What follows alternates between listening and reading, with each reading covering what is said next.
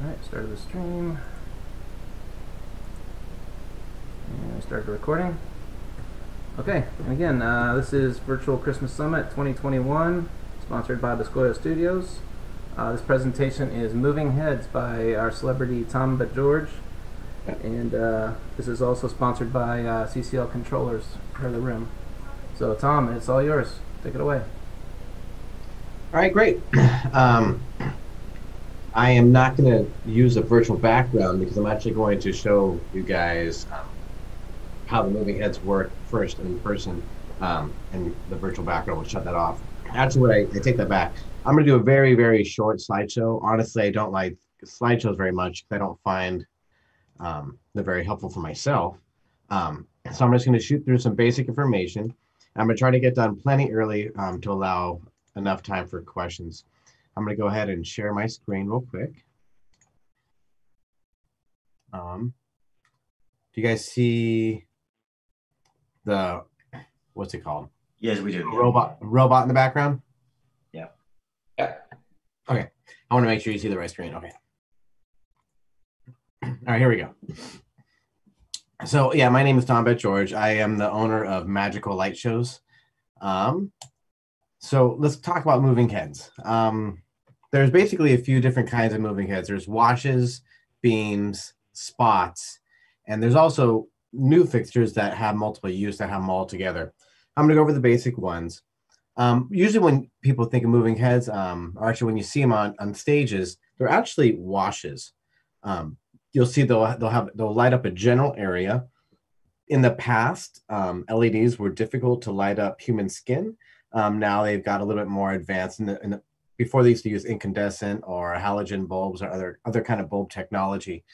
Um, because LEDs are very directional lights and they're very cold, um, which is part of the reason why um, we usually don't use them even today for beams. I'll talk about that in a second.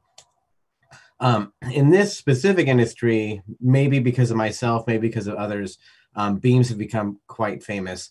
The original beam that really kind of started it all is Clay Paky Sharpie. Um, Clay Paky is an Italian company. That's a Sharpie right there. When you think of beams, all these um, knockoffs and even US um, knockoffs, they're basically copying what Clay Paky did because up to that point, typically beams were about 2000 watts each just for the bulbs, um, just to have it powerful enough. But Clay Paky kind of uh, pioneered the path that allows you to use um, almost like a magnifying glass that really makes a 189 watt bulb look just as powerful as a 200 watt bulb. Um, finally, there's uh, spots, which basically, when you see someone on stage, but you only see them or a small area, that's a spotlight. Usually they can be controlled on how big that spot is. And of course, as I met, said earlier, there's also multiple use beams. Uh, I'm not going to get really into that any farther, but what you probably see in my, or what you are thinking of is beams. Um, the beams, um, they literally can show a beam in the sky. Now, be careful. All light needs particulate matter to um, show anything. So, I guess in a space vacuum, a beam would show nothing. But you'd be surprised how dirty um, your air is. Um, even if you li- live way out in the middle of nowhere, there's often dust and there's often just uh, even moisture in the air that allows the beam to shine. The, the hardest times I've ever had a beam in the air were um, when it was extremely dry um, in a clean environment. Um, I used to live in the Bay Area, which is extremely dirty. lots of smog. Now I live more, slightly more out into the country, if you will, but still there's just so much stuff in the air through either dust or other things. Um, I, did my computer lock up or something? No, no, what's happening? You guys can hear me? I apologize. You, do you guys hear me? Oh, okay. Okay, that's good to know. Um, I wonder how to fix that because my computer, this has never happened. Of course, it happens during, um, it, I'll tell you what, while I try to figure this out, I'm going to continue talking. That way we're not getting stuck. Um, So basically, um, there's always stuff in the air, whether or not you, you th- see it or think it, there's always something going on. I do suspect I'm going to have to restart my computer, unfortunately, because it looks like none of my programs are working, by the way. I'll just get through the rest of the talk. Um, when it comes to having your beams, um, you probably are asking, well, how do I put them outside? There are hard domes, and that is by far the most robust. Typically, hard domes are $500 and up after shipping. Um, they're the most robust, uh, but they're kind of heavy too. They're probably about 75 pounds plus. The, you know, um, actually, I guess maybe up to 75 pounds plus the, the weight of the light. There's inflatable domes, which I don't recommend. They're the cheapest solution, but the problem is they don't always inflate properly, which is dangerous when you're um, running your beams. And finally, now today they have a lot of IP67 rated fixtures, which means you can put them directly outside. They are cool in the fact they're easiest to set up, but they also um, tend to fail prematurely because they overheat. And of course, um, because of that, they, they, they, their parts tend to fail faster because there's not enough air going in and out of them to maintain that um, water or weather proofing. Um, I think what I'm gonna have to do, and I apologize so much if you guys can just like hold the, the room for like a minute, I'm gonna force my computer to restart because I wanna start showing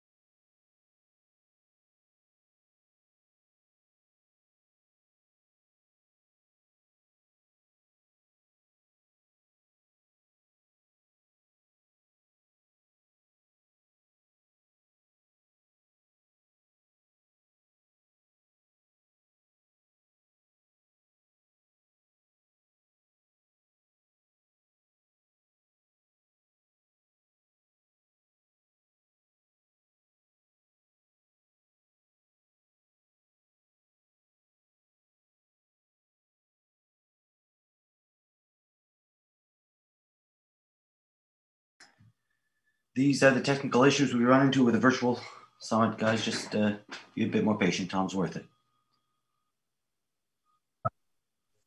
I'm so sorry. I'm not even gonna bother even doing the, the PowerPoint because it's something about that freaked out the, the thing. So I'm gonna continue. Um, so everything's working though right now, right? It's not freaking out like it did earlier. You're good. All right, sorry about that, guys. That's really irritating. Um, pulling up my notes just to make sure I don't lose anything important. Okay. Um, so did you guys hear what I said about weatherproofing? Uh, you, the IP67 fixtures tend to fail. Okay. Um, it doesn't mean they all fail. Just the ones that I've used and uh, friends might have used, they have failed faster than other fixtures. Um, please don't let that completely deter you from even looking at it as an option. But when you go to like most theme parks, you'll notice they're not usually the uh, IP67 fixtures. They're usually um, moving heads within a dome. Um, they're just more robust, and all, on top of that, they actually move faster um, than the ones that are waterproof, which is important to me. Now, as far as connectivity, how do you hook up to a moving head? Um, the old-fashioned way is a USB adapter. This is a common one made by Enttec. It's pretty robust. I don't honestly like anything hooked up via USB because USB ports tend to fail. Um, and when they fail during a show or at a theme park, that's really, really problematic. Um, honestly, my favorite is um, connecting through a Falcon. Most of you guys are probably familiar with um, Falcon controllers. Other controllers have this ability as well, but since I use Falcon controllers, I'm going to use this as an example. Um, when you have a Falcon controller, you'll have your Ethernet ports, um, which will connect directly to your computer, which is a stable port, unlike USB, unless of course you're running through USB um, A, B. Those tend to fail when your when your power turns off or turns back on. Those ports can go to sleep and cause problems. USB C, I believe, has actually fixed that issue. Um, on the side, though, you have serial ports. Now, even though they look the same as the Cat5 connection, they are not the same. And you can't see it probably from the video, but there's these little pins um, right here that by default, they're on DMX. You have to slide all three. You have to make sure all three are on the DMX side, not the LOR side, which is a, uh, so you can use a connect directly to a Light-O-Rama port as well. Um, Light-O-Rama has voltage through one of the wires, so you don't want to get it mixed up as it can fry some ports. Anyhow, what you can do is hook up your computer directly to the Cat5, um, and then from here, you can hook up to a Cat5 to DMX adapter. Here is the DMX adapter. It has a Cat5 on one side and then a female side on the other. Don't get the male version. You need to get the female version because the DMX cable, which looks basically like a microphone cable, but is different in the the amount of impedance ca- carried through the cable. So make sure you get DMX cables, not microphone cables. Um, they're not the same and they can cause um, issues. Um, if you do have issues, by the way, you can get something called a DMX terminator, which you can put at your end of your line, and that will basically stop uh, random misfirings on the DM, DMX signal chain. Anyhow, um, before my computer freaked out, I was going to show you some stuff uh, about how to connect to the Falcon and everything. But basically, um, I'll, I'll try to address that indirectly later. What I'm going to go ahead and do right now is I'm going to go ahead and show you how a moving head actually operates. So um, I actually put this sign up here not to promote my own business. I needed something black and tall um, right here um, in order to show the light on. If I put something white, the the beam is so powerful that it'll like it'll it'll basically wash out all the video. I'm gonna go ahead and turn on this fixture. These are the fixtures I use. When you first turn them on, they'll run through a reset cycle. They're going to calibrate themselves, make sure they can move in all directions. There are locks on most moving heads. Make sure those locks are released locks in the pan and tilt. Right now, just calibrated. It looks good. Um, now I'm going to use, for now, I'm going to use a physical hardware DMX controller because it makes it easier to uh, explain them. Now, when you are running a moving head like this, this is not an LED. LEDs are fantastic for color mixing, but they are not fantastic for beams. And for me, I really try to have a moving head that has a powerful beam. Um, that way I can see it cut through the sky. Um, up to now, the LEDs haven't been powerful enough to really have a bright beam in the air. There might be some new ones. Um, I've, I've heard they came out with a couple, literally just within the past couple months. I haven't taken a look at them, but I run um, basically like a 7R equivalent, which is a 230 watt bulb. And be careful, the, some of the cheaper ones have cheaper glass, cheaper parts, cheaper motors, and move slower. I'm not going to get into all that. I sell the ones I believe that make the most sense for their value. Now, when you have these kind of beams, though, unlike an LED, they need to be lamped on because that bulb in there needs to be arced. So there is a separate channel. This is a 16 channel fixture, which is pretty common for moving heads. The 16th channel is a lamp channel. So basically, on most moving CADs, you just put that on to a value of 255, which is the highest value, for about five seconds. One, two, three, four, five. And it looks like it just came on. Um, here we go. It's lamping on, and now you can see it just turned on. Now, you have to have it for a few seconds, and they do that on purpose because what if you're just happening to move your fader across and you happen to cross over the lamp on channel, or even more critically, the lamp off channel? Um, and you can accidentally turn it on and turn it off. Unlike LEDs, you can't just turn these off and on because they arc. They they warm up. They take a while to get to the right temperature and brightness, and then also you need to turn them off. When you turn these off at the end of the day, um, which I'll do later, um, there's a specific value. Like I, I, believe on this one, I put it on a value of like 168 for about five seconds, and then it'll turn off. Again, they make you wait five seconds. So you're not accidentally turning it off because you would not be able to turn it back on um, quickly. Now, what I right now, I, I put this on a gobo, which is basically, actually, I'll, I'll break it down a little bit. The gobo is like a little pattern. Right now, I have it switching patterns. And then I put it on a prism, which splits it and then I have the, the prism slowly rotating. I have the colors slowly rotating. Um, but, but yeah, so you can just see the little magic you can do. I'm gonna set everything to like zero though, and show you how the moving heads work feature by feature. Now, on a moving head, you have a shutter and dimmer. Um, generally speaking, you can probably leave the shutter on all the time. So I'm just gonna take my shutter, put it all the way up. You don't see anything yet because you also need the dimmer all the way open or partially open to see the light. Now, if I do this, you can see that light. I'm turning it off right away because if you're familiar with these moving heads, they're so powerful and so bright. Within 40 feet, if you have them focused properly, they can and will start a fire. Um, they really that hot and that powerful. So right now I have it. I don't have the, uh, the beam open right now. I'm going to go over the most basic pan and tilt. Pan moves it from side to side. So I'm slowly moving this fader and you can see it moving. Most moving heads also have a fine pan, which xLights does not take advantage of yet, which allows you to do small movements. It's moving ever so slightly, but it's probably hard to see via video. Um, that way you can get really precise motions. Um, same thing with tilt. Tilt moves it up and down. They usually go from a little bit pointed down to a little bit pointed um, down the other direction. Um, the halfway mark, which is 128, would be straight up. I'm going to just basically use my judgment to bring this down over here like this. So now I have the beam um, focused where I kind of want it to be. Um, let me move it a little bit more towards the, the black display behind me. Now I'm going to slowly open the dimmer and turn it off We're almost right away. Let me get this round. Let's see here. All right, uh, that's good.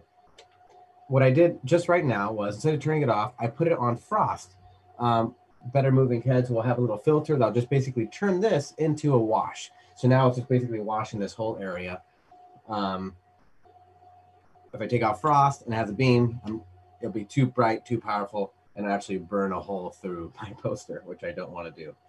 Um, what I'll do is first I'll change the color so it's not so intense, which means also less heat. Um, there's usually like a UV sort of setting. Here we go. Um, I'll use that. Now we can turn off frost.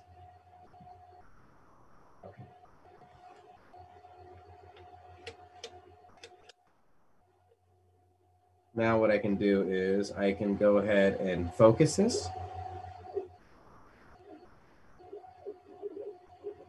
There we go. Get rid of the gobo. All right, so even that's actually pretty hot right there. Um, let me change the color again. Oh yeah, we have a mixture of orange uh, and pink, which you probably can't see.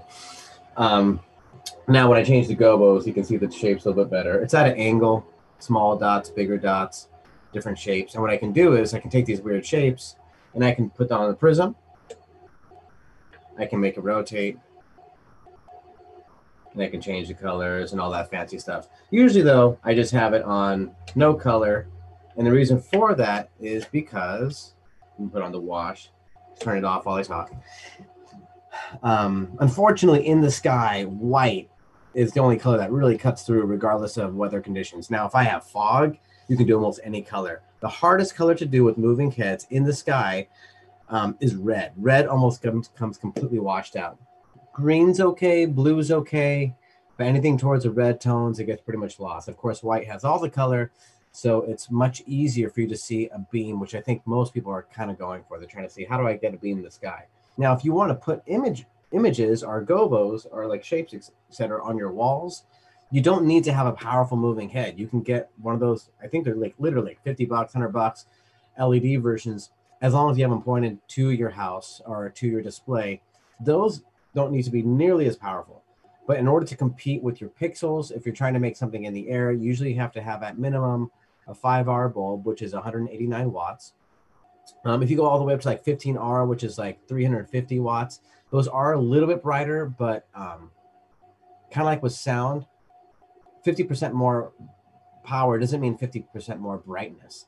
Um, it's it's a uh, logarithmic um, formula, so you need way more power to ha- have something twice as bright. So don't be fooled by these, you know, extreme um, wattages. You probably don't need them, and they probably don't show as much as you think. So um, I, I I think 7R is a good medium. I use that because also it's not super heavy. I can have um, heavy, I mean super power consuming. I can have four of those quite easily onto a single circuit without overloading the circuit. Now remember, in addition to the uh, the moving head beam, you have the motors which also use um, electricity. This moving fixture, I believe, uses about 350 watts. Now what I'm going to do is I'm going to turn on the beam so you know that it's on, and I'm going to take my lamp value, which is uh, this fader over here, and I'm going to put it at, I believe, 168 or somewhere in that range. All right. Now, after a few seconds, it'll turn off. There it goes. And now that it's turned off, I'm not going to unplug the fixture. Um, kind of like when you park your car, you hear the fan still going for a while. It needs to cool off that area. If I just turn off the unit and I don't lamp it on, don't lamp it off properly, it will burn out that bulb way faster. And bulbs um, are a little bit kind of, a little expensive for these kind of fixtures. Um, I want to say these are like 70 bucks each, even on a discounted price. If you buy them in the US, they're like something obnoxious, like hundreds of dollars for each bulb.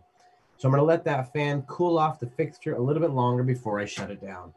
Um, now what I'm going to do is go over a couple rules of thumb you need to get spares when you get moving heads because they're not like pixels. Well, actually, even with pixels, right? You still have spare pixels and you swap them, but they're less robust because there's moving parts. A pixel doesn't have any moving parts, so it's a lot less likely to fail. Over time, these will get dirty, they'll get gunk in there, and uh, especially if you don't have six thousand dollar Clay Paky sharpies, and even those fail. Um, the cheaper the light, the more failures you're probably going to have. Um, they're going to need some replacements. Um, I'm sorry, some maintenance, including bulb replacements, cleaning, um, and just replacing bad parts. Um, the worst thing I've ever had to replace was a couple motors. Um, most manufacturers, including the ones that we sell over here, they have at least a one year warranty on parts. Uh, of course, that means you're not abusing them, right? You're putting them outdoors without any waterproof or weatherproofing. You're going to fry your beams. I had a customer once send me beams that were clearly like soaked in water. Um, saying, "Oh, these broke. I don't know why." Well, I mean, there's water all in it. Anyhow, the nicer the moving head, you're probably happier you're going to be. You don't probably need to buy six thousand dollar Clay Paky um, sharpies. If you still don't like the Chinese knockoffs, which I don't blame you for, um, Elation makes some really good beams. I, I use those a lot at commercial locations, but still, those are like two, three thousand dollars a piece. So it's, it's not really a cheap aspect of the hobby. Um, and finally, you don't need FA, FAA clearance. Now, a lot of people think you do. They think, oh, I live by an airport. I can't run these. These are not lasers. Um, so don't get confused. Um, lasers are a problem because they're this small when they leave the laser and they're only a little bit bigger by the time they hit an airplane. And those can cause um, not only distractions, but eye damage to pilots, right? So that's a big deal with lasers. These are far from lasers. Even when they have like a two to three degree dispersion, two to three degrees a mile away is it's going to be like a massive light which is completely washed out which at worst it's like when you're driving your car and you see a headlight well no big deal you don't immediately crash into you know a pole or something when an airplane sees a light they don't immediately go down and crash in, you know, into a big ball of flame. So it's not something to freak out about. Of course if you're doing something intentionally that's a completely different story right? Or if you live so close to an airport which i did in the past you want to avoid hitting the side of um, helicopters and or uh, airplanes as they're going in for landings. Because if someone's trying to land and they have this bright light right on them that's not ideal. Or same thing with the, you know, the cockpits that you're coming down. Um, again, it's so far away. Even if you're right next to airport, by the time you get there, it's probably not going to be a big deal. And especially if they're in motion, um, it's just like a flicker of light. It's gone. No one's going to sweat or, or cause an issue. Um, have you ever been to a grand opening of a facility where they rent those sky tracker beams? Those are thousands and thousands and thousands of watts, and you're running like a couple hundred watts. They don't even get clearance with the FAA. Trust me, you don't either. Just don't piss off anybody intentionally. That's a different story. And of course, don't use any lasers. Lasers are completely different, completely different class um, that is uh, actually regulated by the FDA, ironically. Um, I'm not going to touch that anymore. So, what I'm going to go ahead and do is I'm going to actually open up xLights now, which I'm going to screen share again. Hopefully, it does not cause the same problems that it did last time. I apologize for that. Um, it's okay. Here we go. Let me go ahead and do a share screen. Give me a second. Desktop two. So hopefully you see that screen now. I'm going to open up xLights. I'll show you what it looks like in xLights as well. If you're a LOR user, I apologize um, for more multiple reasons, but I uh, I'm not going to show um, LOR today because it's just a lot more complex. Um, here's what it looks like. Oh, actually, it's been enough time that I can shut down this beam so I can you can hear me better. Now it's cool.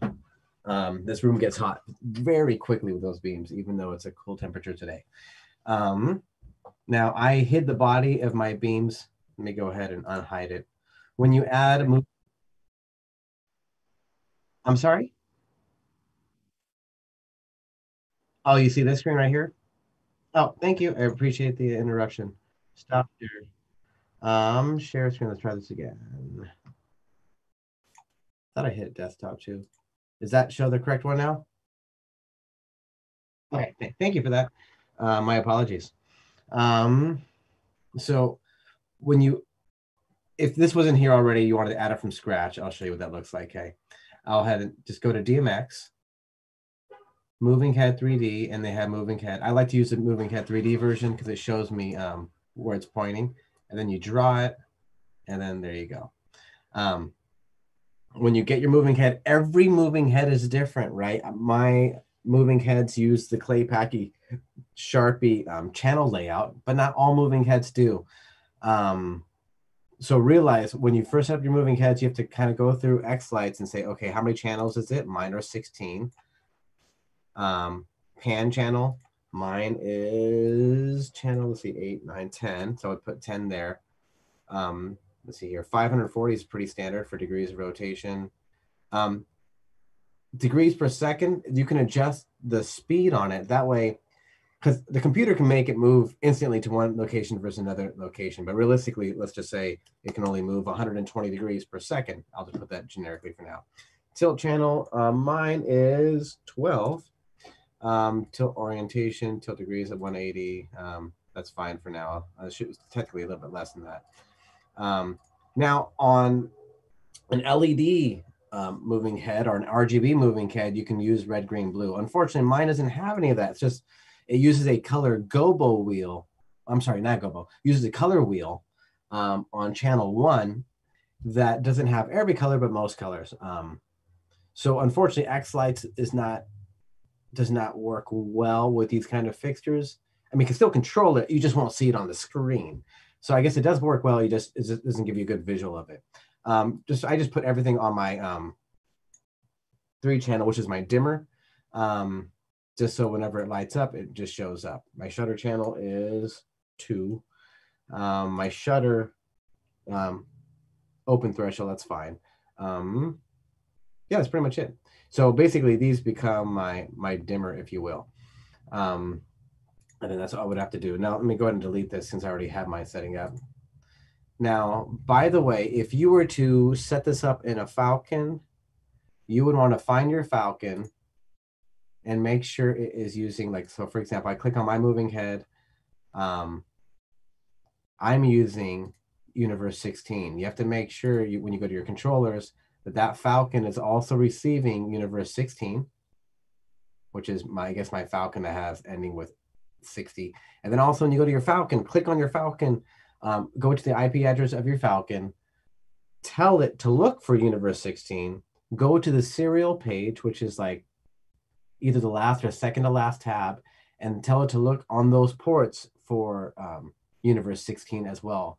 Um, if it takes all those things, it takes this to be in the right place, the Falcon um, looking for the Universe 16, and also on the serial page of the Falcon to be looking for Universe 16 for it to work. Once you have those all set up, you should be golden.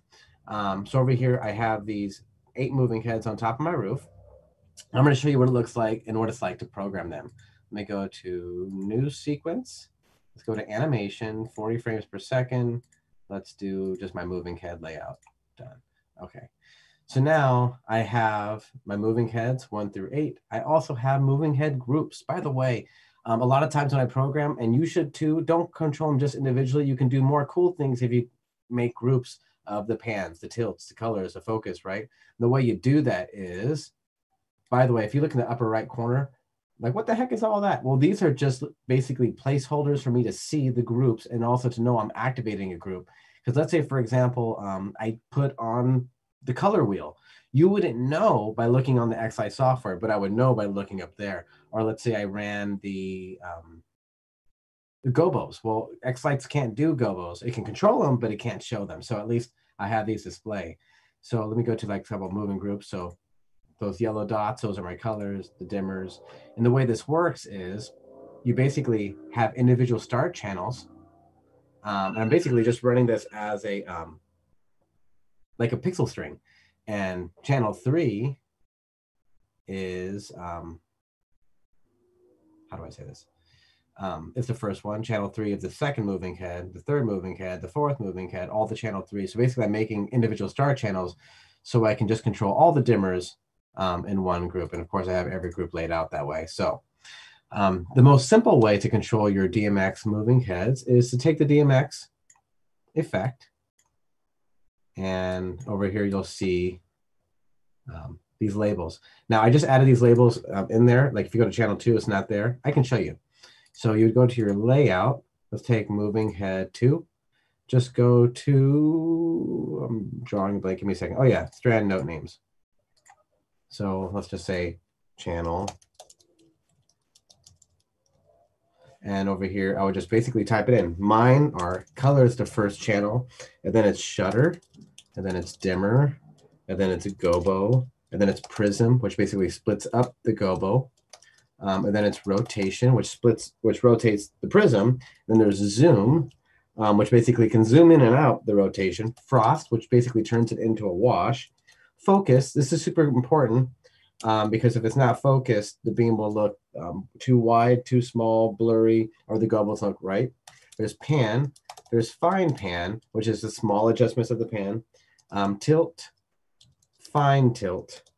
Um, I don't think these other channels are used. 14, 15, but then 16 is lamp. So now I hit OK, hit save, go to sequencer, click this, and now it's all there.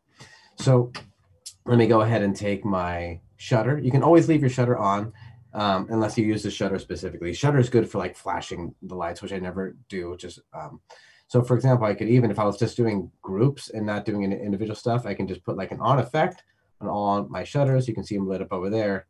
Um, if I did the same thing with my dimmers,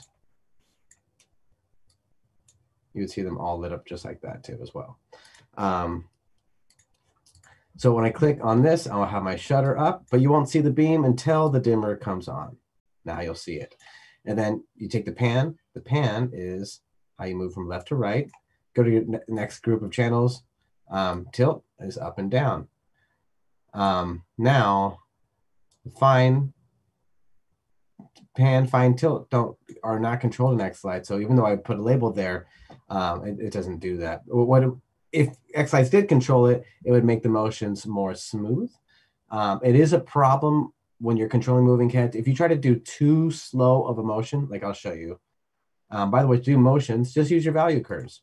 Like a ramp is a great way of doing that. I'm going to start from one place and end on another place. I want value zero to value 255. That's a full circle, by the way. Um, actually, I'm sorry. I said full circle. It's more than that. It's 540 degrees. Um, so you can see that moving around. Now, let me go back into this. Um, it looks like actually that's not um, that's not 540 degrees. I'm not going to um, touch that right now, anyways. But here we go. So now I have this ramp. So I have this motion. But here's the problem with moving cats. If you do this too slow, um, like this, it will actually jump. You see those different jumps? You will physically see that. It'll look like your moving head is shaking because we're not taking advantage of the fine pan, fine tilt. Um, so just don't do super slow motions and then you won't run into that issue. Here's another issue. Um, not issue, just something to look for. I guess I, sh- I should be wording that properly. I love xLights. Um, I'm a huge fan, so I'm not ripping on it. It's but it is free software and it's not something like a grandMA, if you're familiar, which is like a hundred thousand dollar moving head controller. Um, now, when I'm running the motion with moving heads, you have to remember um, it is. If you're looking at me now versus the screen, when when the moving head's moving, it takes a moment to start the motion. It's not instantly moving and instantly fluid. Um, it's starting to move, and if you have your beam, let's say I wanted to have it move at a specific moment, like right over here, it's not going to actually do that because it would actually take a moment to get into motion. So what I would often do if I wanted the beam to start at let's say at 20, I would take my dimmer. I'm controlling them all right now, um, which I often do, but I'm not going to explain that too much. And I would actually start the motion before. So it would actually start the motion and then turn on the beam. Now let me turn off the dimmer and they're probably going to have a, they might have a problem. Let's see if it does. So now it's going. And there you go. It's missing. Why is it missing? Why did my voice go up? I don't know. Um, the reason why um, it's missing is because of the order you have your groups in. This is a problem that I have with customers all the time because um, people don't realize the order that you have these displayed in your master view changes um, how the effect will be um, handled. So xLights goes from top to bottom of your master grid, okay? So I'm running the moving head view, but if I go to master view, um, which is still the same, but the problem is this needs to be later or lower in order for it to be thought of after. Right now, this has a value of zero on the dimmer. So even though this has a value of full on, this has a value of zero. This is overriding channel two or moving head two, so it's not turning on. To solve that, I would go to my display elements over here. Oh, it's sorry, showing up on a different screen. There we go. Um, and I would take, no, why'd you, oh, dang it. Let's, it's wanting to lock. I think there's a button you press to make it not do that. I'm trying to remember which one it is. There we go. Okay. Um, I take dimmers, and if I move it to the very bottom, now it will process dimmers after those. So let's see if it worked. Yep, it worked. So basically what I did now was I started the motion. You can't see the motion. And that's why you notice how these little two things, these bulbs came up in the corner. Telling me there's activity going on. And then the beam comes on. And of course, all the beams come on. Now, I'm going to, instead of of course, uh, me. Sorry, I'm talking fast, making sure I cover all the important information. I have about let's see here, ten more minutes of talking, then I want to go to question time. Um, with the DMX um, function, you can control all the values, of course. Um, before I forget, this is not in the order I wanted to say it, but I'm going to forget if I don't do this. Go if you need to have like let's say the beginning of the night, you need to have a specific sequence just to lamp on your fixtures, unless your first part of your show has enough time for it to turn on and um, arc them on. So if I put lamp value 255 and I have it running for, let's say, this is about what, seven seconds, it needs to be on. And then it's, it's waiting, it's waiting. About there, it turns on the fixture and now it's going to be warming up. So I have a separate on sequence for all my moving heads. And at the same thing, you need at the end of the night. Um, so you basically, let's say you go to a value on mine, it's like 168. I would run this and I would say this as my off sequence it would run this DMX value on the lamp channel for a few seconds, and then about then it would turn off the lamps. I would not power off the units yet. I will let them run for like five more minutes, cool off the bulbs, cool off everything in there, and then I can turn off the fixtures. Okay. Something important to remember. I just wanted to tell you before I forgot. Now, of course, you can do everything else in here. Um, your tilts. I use value curves all the time, gobos, prisms. It's great to have a moving head by you so you can control them and see how they actually work in person because it's not always the same as on the screen. Um, finally, what I want to do is I want to do group effects. So you can actually use various effects. Now, I wouldn't we use like a shader on a moving head group, but you can see they actually do fun things. So yeah, I can put on shutters and that basically, remember it, moving heads need the shutter and the dimmer open for them to see them. You're not going to see it until I put on the dimmer as well. Now you can see the moving head dimmer is on. I'm gonna put it over here, okay? Um, what if I wanted the dimmers to go on and off in like a cool wave? Well, let's just take bars. And then, and then we go, let's see here, right. Then we turn on white and black. And now let's increase the cycle.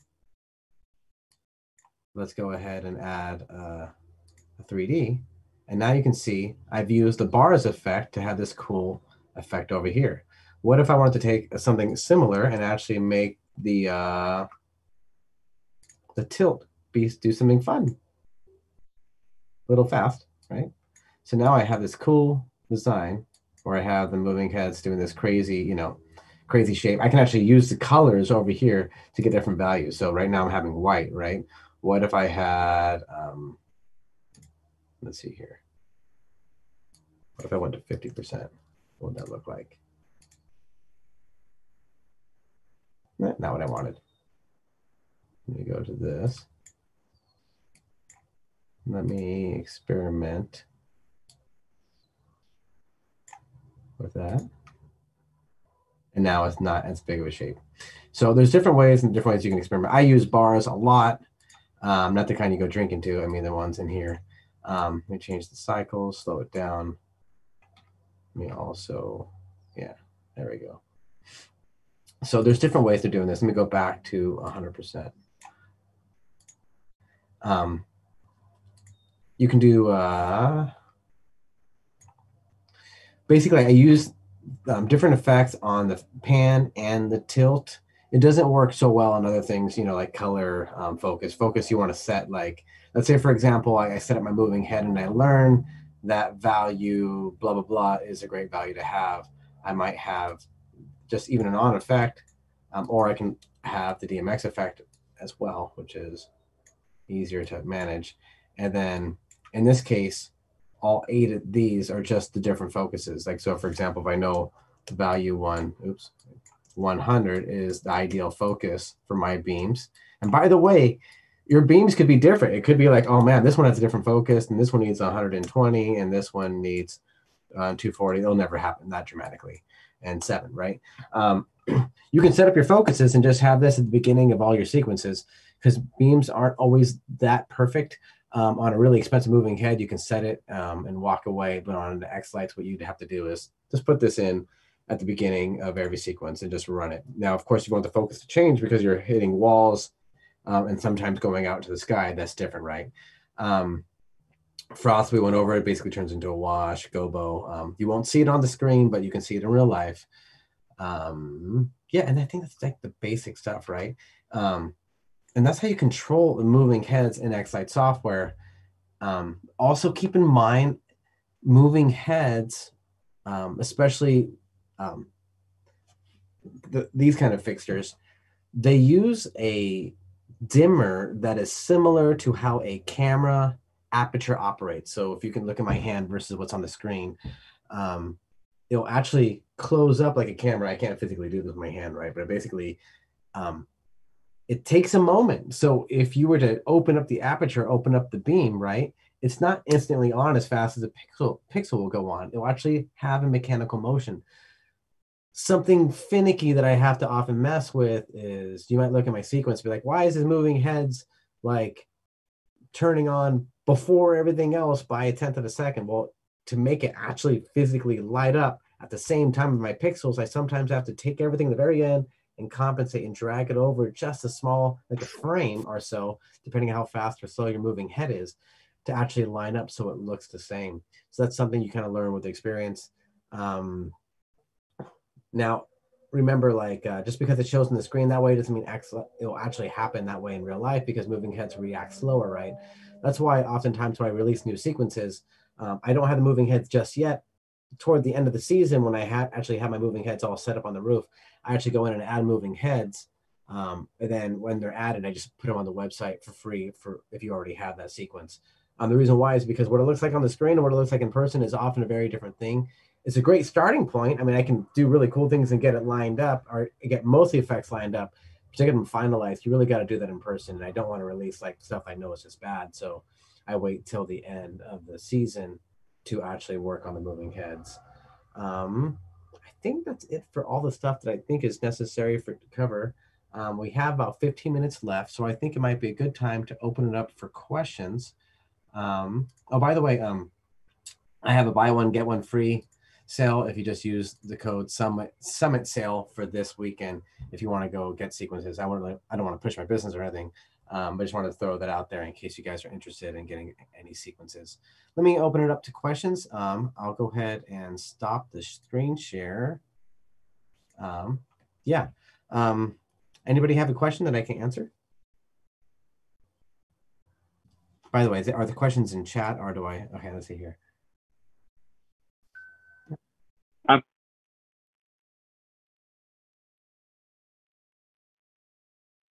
I am so sorry. I didn't actually hear the question. Could you repeat that?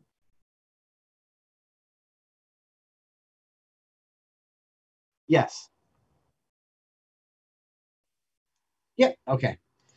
Um, and now I will share the screen again, and hopefully I will not lock up my computer. Um, okay. So basically, you see the screen, right? okay. You can just grab anything, just grab a string, right? Um, and then say eight, like I have eight, eight moving heads, so I'll have eight pixels. And then you'll go to, um, you'll set up your channel so they line up with your moving heads. Like, so for example, if I was doing color, um, it would be universe 16 channel one, which is the first thing, right? And then what I do is individual start channels. Uh, do I have to maybe get rid of that? Why isn't that letting me click it? Am I going crazy here? I should be able to click that box. I don't know if it's because of what I just typed in. By clicking that box, you know, right? Let me see if I did it differently over here. See, um, I don't know why I assumed that number of strings eight. What is that? What I have to do? I don't know. Number of strings eight nodes one. Oh, that's probably what it wants. That's why. Let's see. Yep, there it is. Okay. So I have eight strings, one light per node. And then I would just basically say, this is, you know, uh, universe, like there's different ways I can say universe six, and line them all up. Takes a little bit of time the first time, but then this is basically going to display and I can change um, the appearance of how it looks to make it look how I want so I can recognize it. But that's how I can monitor um, the moving heads, even if I can't see it. Because, for example, in the past, especially when I used LOR, I would have like a color on and I would never know that I accidentally had like some data there um, because it was so hard to see um, the way the LOR handles it. Even xLights, um, you could have like some artifacts and not even realize it until you're running your show. This way I have something to visualize if there's any artifacts that helps a lot. I use that a lot for other kind of fixtures too. So um, like when I have like uh, let's say I think there's a this might be a geyser. Oh, it's my old centering dot. I don't use anymore. Um, but I have a geyser over here. Um, I'll use like little lights to show them um, because you can't, you know, actually see a geyser or like you know like fog actually in xLight. So I just create things like that to show it. Hope that is that kind of answer what you're looking for. Tom, got a quick question. Um, how when you were saying you turn on your dimmers in the beginning, um, I'm sorry, you turn on your lamps with yeah. the sequence. How do you get the DMX values to persist across your your entire show? I mean, once the effect is over, doesn't it? Just you DMX for that channel go to zero. Oh yeah, so DMX value zero on a lamp channel won't do anything. Um, so 99% of your show won't have anything on the lamp channel. Just when you want to power something and power it off, do you ever use that channel? So I won't even turn it on during a sequence. I'll just turn it on during an on sequence. Um, so when so by default, all your um, lamp channels in your sequence. Um, let me click on this, for example, right? Oh, that's actually on a group. Let me go to something else. If I went to moving head, um, channel 16, which is lamp, it would be off. Let me go, let me go to this where it shows it. Um,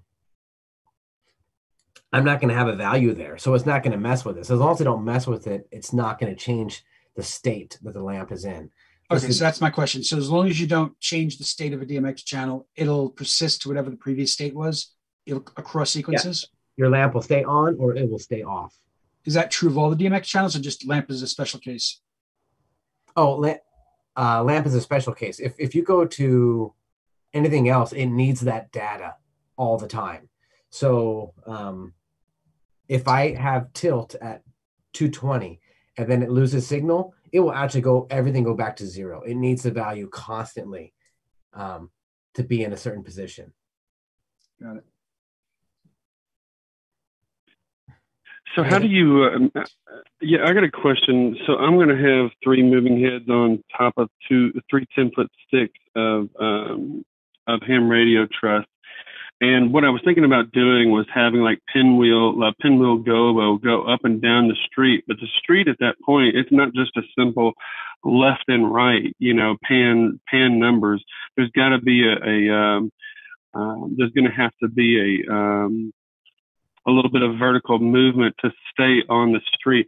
So is there a way that you can create like a starting point and a stopping point for that particular effect? And I think generally speaking, I want it to go back and forth for certain parts of my dance songs. Uh, so would you just use value curves or what? Yep, it's, it's, it's basically a value curve. It's a ramp. Um, so I would go to my tilt, for example, and I would say I want it to like I mean depending on what you want, right? Y'all want to start it at this right. value and mid midway through this value and end on this value. And then you can kind of have like a little bit of a hill um, with just a tilt. That's how you accomplish that. And that value curve is is uh, just for the pan, and then you would do the same thing for the uh, tilt as well. Yes. I got you. It's definitely going to have to be done on site. yeah, exactly. You learn it as you go, but you'll also learn certain things. Like, so for example, I don't drop my tilt below 40 because if I drop my tilt below 40, I start to hit windows. Um, mm-hmm. And I know there's a lot of jokes in this industry about neighbors who are being difficult and then they'll purposely turn buy more pixels. And um, you can't do this with moving heads. Um, it's a whole nother level. And no matter what, honestly, you shouldn't do that with anything. I mean, you're, excuse me, I get on my um, milk uh, crate for a second. Your, your neighbors like need to be respected above all people. You, you can't say you're doing this for the community and screw over your neighbors in the meantime. It's just, you're doing it for yourself at that point. But if you really care about your neighbors, you can be thoughtful and you're not going to try to run schedules that are ridiculous. And when it comes to moving heads, if you ha- light a moving head at someone's window, you're blinding them like inside their house, even with a with a the blinds closed, especially if you're using like a professional moving head. Um, you got to be thoughtful and you need to figure out where the windows are, where certain things you need to avoid, and you need to avoid them because as obnoxious as our hobby is without moving heads, when you get moving heads and they're shining for miles, on average, these beams go uh, at least in my location and with these particular beams, I can see them for eight miles in every direction. Like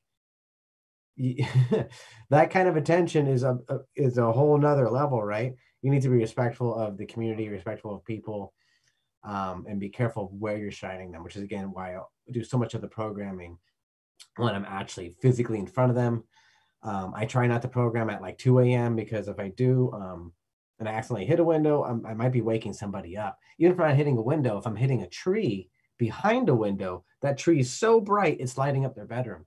Um, so it's just really important to be thoughtful of neighbors and other people, um, even if it's not technically illegal, you can become a nuisance very quickly. And once you become a nuisance in people's eyes or attitudes, it all goes downhill very quickly. I'm lucky enough or blessed enough to have all of our neighbors supportive of our show, even though we average a few thousand people here a night. So it's really important that we um, really respect our neighbors and do our best to um, alleviate and diminish any impact that we are making on them from the show, especially with the moving heads. Sorry for the long answer to a short question. Well, when, while you're still on this ramp, does it, in your experience, if you'd have a ramp, does it literally look choppy and robotic as soon as it gets to that top value and starts going the other direction, or is it kind of like a, a fluid motion? Depends how slow it is. The speed changes that, and you'll notice every moving head right. So if it's a if it's a really slow ramp, it's going to be choppy for sure when it gets to that top and bottom. Um, because there is going to be a stop and then a start. It's not going to be instant, right? And you kind of already kind of sense it yourself. I can see that, um, you know, because basically it's a belt drive. So it's going to get to one point and turn around. It's not a transmission with a clutch, you know what I mean? Um, where it's going to like slowly like change direction. It's, it's not going to do that. It's going to be, so you, you just going to mess with it to see what actually looks right. Thank you. No problem. Hey, Tom, I got a couple questions. Um, I have about, well, for my next year's show, um, I'm going to be running about nine DMX moving heads. Um, what brightness would you recommend for, say, maybe like a couple hundred feet? I don't want to blind my neighbors, for one thing. Um, so, what brightness would you recommend for DMX moving heads? Um, there's no um, number that would I could say that would work. I, I got to tell you though, it's probably 100% brightness. You're going to need it if you're trying to create a. Well, are you trying to create a beam? Yes. Okay, you're going to need every every drop of brightness you you can sacrifice on it because trust me, um, to create a beam, you need um, everything. But you just need to make sure that beam doesn't hit something the brightness of the beam itself won't piss off people. Like if they see a beam out in the sky, that doesn't bother them, right? It's when the beam hits something like their window or a tree that the light is reflecting off of. That's when it's a problem. So basically, 100% brightness if you're trying to go for a beam, but just don't hit their window. Don't hit. You can probably hit their house if it's not going to reflect. You know, I, I hit houses or roofs if it's not reflecting onto um, a window. Um, right. Just, yeah, but no, you need. You trust me. You're gonna need 100% of it. Um, and even at 100%, if you have a night with no particulate matter in the air, it's going to go down dramatically. Your show will change from night to night, um, depending on how much moisture and how much dust is in the air. Okay. All right. Thank you. By the way, your sequence is, is like amazing. Thank you. Thank you. I appreciate it. About four more minutes. Does anyone else have any questions? Uh, okay. I had one question. I see somebody already asked it on the chat, but um, oh, I'm sorry, I wasn't even seeing the chat. My apologies. I, mean, it wasn't mine, but I'd like the answer to. How do you get um, if you use professional software, like even like the free ones, like Freestyle, or they've got pattern generators, like circles and figure eights and things like that? Yes. How do you do a circle? Or you just use the ramps, or and, and tweak it? or is there an easy way to do it? Circle is hard. I won't lie, a circle is hard because it's going to take a starting ramp a middle point, and end. Like so, it's going to take something like this um, for your tilt and your um and your and your uh let's see here. Let me just take that value right there. So I guess um, other than trial and error and hitting those set points, I mean, there's, I mean, there's no shortcut that you found doing it. Um, I, I usually don't do circles because it, it's not because it's hard because they, they don't do what I need them to do as far as uh like when I'm doing like a in, in the sky, a circle um like do you see what's going on in the over here on the screen? Um yeah. A circle won't come across as a circle unless it's right around a person or the opposite direction of a person. But when it's up in the sky, it won't look like a circle because it's going to look more like going back and forth and a little bit of variation. Um, circles are great when you're lighting up something, but when you're doing um, if with a beam, it doesn't get perceived the same way. If, if that makes sense. It does sort of. Like well, if you look at like if you look at this right here, right? When it's just going back and forth, if I change the tilt, it it it won't. It, it like you're like oh I, I I can see they're trying to make a circle, but it's not going to look like a circle because of the way that. Well, I could see how it wouldn't look in in its 2D environment on the screen, but in real life, think- I would think you'd be able to do a figure eight or something in the sky. Hey, thanks, Actually, in real, We're- in we're real life, it doesn't now. work that way. I. um I, it, because of the infinity perspective i know what you're saying but like when you actually see it in person you'll see what i mean like when it changes from going up and down tilt like pan in front of you is really obvious right but tilt is not obvious and in addition to that the brightness of your beam will change dramatically depending on the direction that the beam is going if it is going right at you right you see that whole um you see all that light but if it's going like sideways, right? You're only seeing through four to six inches of light, which is not a lot. So when you're shooting a light sideways, it doesn't is not perceived as bright. If you're pointing it away from the audience, going up to the sky, you're seeing through a lot more of that tube of light, which makes it much brighter. Perce- Thanks, uh, thanks, Tom. We're gonna have to um, move this. No problem. Thank you. guys. hope you enjoyed.